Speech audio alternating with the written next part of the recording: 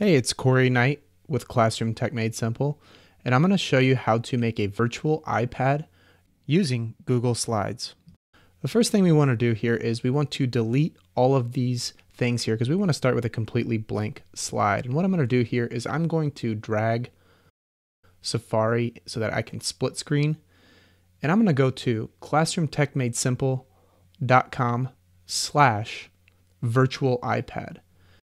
I added a few images that you can use for a virtual iPad. So once again, that website URL is classroomtechmadesimple.com slash virtual iPad. And you can see here, I gave you two different options. So just choose whichever one you want. Then you can save them, or you can just simply drag them over to the screen of the Google Slides and drag and drop. That's the cool thing about the iOS update. I'm going to slide this over here to the side, and I'm going to center this right in the middle of my slide. This is going to be the home screen for my virtual iPad. What we're going to do is we're going to add apps to this just by simply adding a few images and then masking those images and then hyperlinking them to different pages. So let's go back to Safari. And then I'm going to go ahead and go back to Google. And we need to find a specific picture here that we want to use. And say that we want to use a picture of a tiger. And so I'm going to go ahead and go over here to images. I'm to find an image that I like and that I'm going to make an app out of or an app icon more specifically. And I'm just going to simply drag and drop this over to my Google Slides project. Okay, so now this image is a little bit out of shape. It's not exactly the size of the app, so I need to actually go and crop this. Tap on the image and then at the top here, I'm going to click the crop button and then I'm going to crop it down to the size that I want. That's pretty square, relatively centered. And then I've got my square. But you know, sometimes on an app, we need to mask these. So just right next to that crop button, I'm going to go ahead and click that.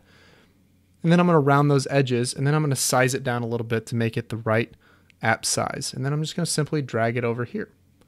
All right, so there is the icon for my app. Well, now we need to hyperlink it. So the first thing we need to do here is add a new slide. We're going to say maybe this is all about tigers.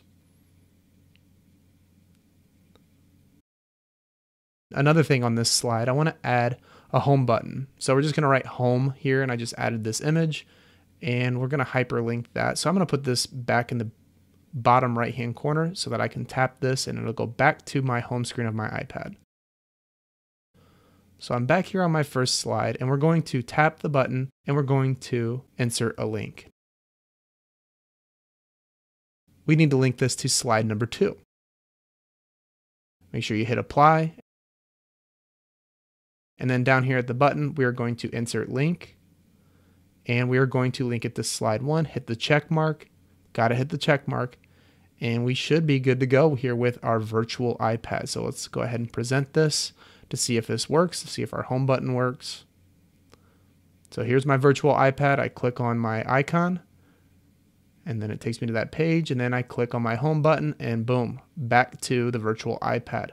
What a great way to show engagement in the classroom. So hopefully you have learned something from this and that you can apply it in your own classroom or you can have your students start to apply this same technique in their own work and it really will improve engagement throughout your use of iPads in the classroom.